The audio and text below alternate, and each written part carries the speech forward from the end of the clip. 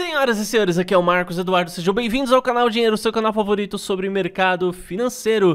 E meus amigos, eu tô feliz pra caramba porque o projeto que eu passei pra vocês, o Nafit ou NFT Down, ele tá indo bem pra caramba, tá? E olha só essa postagem aqui que o pessoal da NFT Down oficial é, colocou, tá? Isso aqui vai estar na descrição. É, vou deixar todas as postagens que eu passar aqui na descrição, os links referentes a esse projeto e também o vídeo é, com análise. Vai estar tudo aí na descrição, organizadinho para você, tá? E aproveito, né, e fala aí, ó, nosso perfil no Twitter é @dinheirocanal, tá? Eu não consegui colocar canal dinheiro, então é dinheiro canal.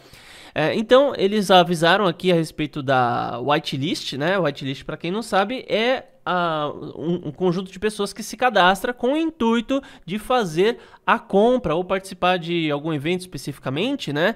É, então, a whitelist deles foi aberta no dia 1 e ela vai se fechar no dia 6, né? E a gente clicando aqui na postagem que direciona para o Medium, no, a gente vê que então, segunda-feira, no dia 7, é que vai ser o, é, é que vai ocorrer efetivamente a ação de listagem e a oportunidade de compra. E olha só esse preço aqui. Putz, grila.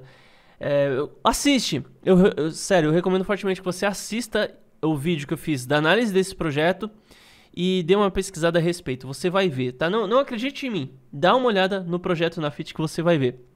Então o preço do token vai ser a 0,5 0,25. Eu acredito que isso daqui está muito barato. Vamos ser realistas, meus amigos. É, a gente sabe que está rolando um conflito entre Rússia e Ucrânia. Existe uma tensão muito grande no mundo todo. O Bitcoin tá despencando, ele tá fazendo um conjunto de movimentos que não obedecem necessariamente uma análise técnica, como você pode ver aqui. A gente tá em um período de baixa. A gente tá em um período de baixa, existe uma indecisão muito forte em torno do mercado inteiro, mas efetivamente a gente tem que entender que é, independente do projeto que for, independente do projeto que for, a gente até pode ver alguém é, se, se, valorizando aí, alguma coisa ganhando força, ganhando valorização. Mas a gente não vai ver nada extremamente expressivo. Eu acredito que para esse momento não. Então, a gente tem que aproveitar essa oportunidade que temos diante do mercado, diante da indecisão que existe no mercado das criptomoedas para justamente apostar nos projetos que a gente acredita que vão para frente, que vão funcionar. Então, esse é o momento, pessoal, de verdade. É, esse é o momento decisivo para a gente apostar naquilo que a gente já vê os fundamentos. Então, essa daqui é uma oportunidade de ouro realmente comprar esse token muito barato, tá? É, as criptos, num contexto geral, vão começar a subir quando o Bitcoin subir, a gente sabe disso. Então, não espere que o Bitcoin vai, vai cair durante um mês inteiro e também a gente vai ver é, os, uh, os tokens do Nafit também subindo. Né? Não, ele vai seguir o mercado se o Bitcoin seguir dessa maneira. Mas, de mesmo modo, a, quando o Bitcoin volta, quando ele encaminha para um momento de alta, a gente percebe que aqueles projetos que têm fundamentos e têm uma publicidade envolvida, eles também vão valorizar pra caramba. Eles vão não só acompanhar o Bitcoin, mas superar a taxa de valorização. Por quê? Como eu sempre digo aqui para vocês, é, tem um fator muito forte que define o mercado das criptomoedas, que é o fator de maturidade, tá? Então, quanto mais velho um projeto é, é menos suscetível à valorização ele tende a ser claro, juntando também o fator de aceitação. Então, se você tem um volume grande somado a um tempo grande de projeto, por consequência, ele vai tender a ter valorizações cada vez menores. E a gente trabalhar com projetos que têm uma maturidade é, ainda pequena, né, tem pouca maturidade, é justamente uma oportunidade de ascensão e de ganhar dinheiro nessa história toda, tá? Então eu vou deixar todos os links necessários aí referente ao projeto na Fit, o grupo do Telegram e tal. Mesmo que você não for comprar, não for aderir, acessa aí só para você dar uma olhada como que a coisa toda tá.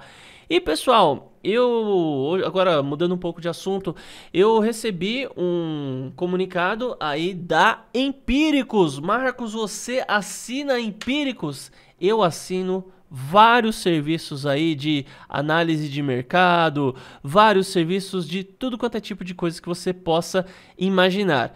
E o que acontece é que a Empíricos agora fez uma indicação, fez uma indicação aí de redução de Ethereum, tá? Então, o valor em carteira que se tinha na Ethereum na recomendação deles caiu de 27% para 25%, né? Então eles reduziram em 2% da carteira, da carteira principal isso, tá? Porque ainda existem vários tipos de carteira que eles separam. A Polygon Matic aumentou 1%, a Avalanche na carteira principal 1%, mas olha o pulo do gato agora que eles estão recomendando. Então, FTM, que é o Phantom, se não me engano, reduzir 5%, Atom reduzir 5%, ou seja, vender, mandar embora. Polkadot reduzir 2,5%, SCRT reduzir 2,5%, Solana, Solana menos 5%. E o que, que eu falo da Solana? É um projeto excelente, é algo excepcional. Só que a galera tá cansando de toda hora o negócio ser hackeado, velho. E aí? Né? Vai, vai ficar até quando falando que tá sendo hackeado porque tá em fase beta? Realmente é um negócio a se pensar. A Polygon Matic, é, dentro da carteira de smart coins, tá? Porque é diferente. A, as carteiras, muitas vezes, uma moeda pode aparecer em uma carteira e aparecer em outra também. Ela aumentou aí. Eles recomendam a compra de 10% de Polygon Matic. E Avalanche, que também aparece na carteira de Smart Coins, aumentar 10%, comprar a Avalanche porque eles acreditam nessa alta. E o que é interessante, galera, em relação à Avalanche é que antes você não tinha tanta notícia a respeito da moeda e agora ela está ganhando muito espaço, de verdade mesmo. Ela está ganhando é, muito espaço no mercado, ela está começando a ser conhecida e é um projeto relativamente novo, cara. A Avalanche é novo. E você pode ver no momento que eu estou gravando esse vídeo aqui, ela tá em décimo lugar no CoinMarketCap. Cara, é a décima, nesse momento, é a décima maior moeda do CoinMarketCap. E se você for considerar só criptomoeda e retirar, né, no caso stablecoin, a gente tem aqui no terceiro lugar a Tether, a gente retira. A gente tem aqui em quinto lugar a USDC, a gente retira. Então, a Avalanche, meus amigos, verdadeiramente, dentre criptomoedas apenas, ela está em oitavo lugar. Gente, isso daí é uma projeção muito grande para um projeto novo, mas uma coisa eu vou dizer para vocês: quem está por trás desse projeto, o CEO da Ava Labs e a galera que trabalha com isso aí, é uma galera que tem um conhecimento muito forte no mercado. Eu acredito que é algo muito bem alicerçado. E como eu digo para vocês, né, eles têm diversos projetos rodando ao mesmo tempo, e mesmo que ele, um ou outro talvez não venha a vingar, não venha a ser algo efetivo, ainda assim, no mínimo como publicidade, isso vai servir. E Avalanche não só está começando a aparecer nos portais de notícia, ah, Avalanche caiu, ah, Avalanche subiu, mas antes eles nem citavam, só falavam se tivesse uma, uma valorização ou desvalorização expressiva. E agora tá todo portal de notícia começando a falar dessa moeda. E eu acredito que, até estava conversando com, com um amigo meu a respeito disso, e a gente acredita que Avalanche, entre apenas criptos, top 4 é algo bem plausível, tá? Então, dentre as moedas que já estão mais bem estabelecidas aí, eu penso que Avalanche pode ter uma projeção bem interessante. E os tokens da Nafit, dentre os projetos secundários aí, é, são...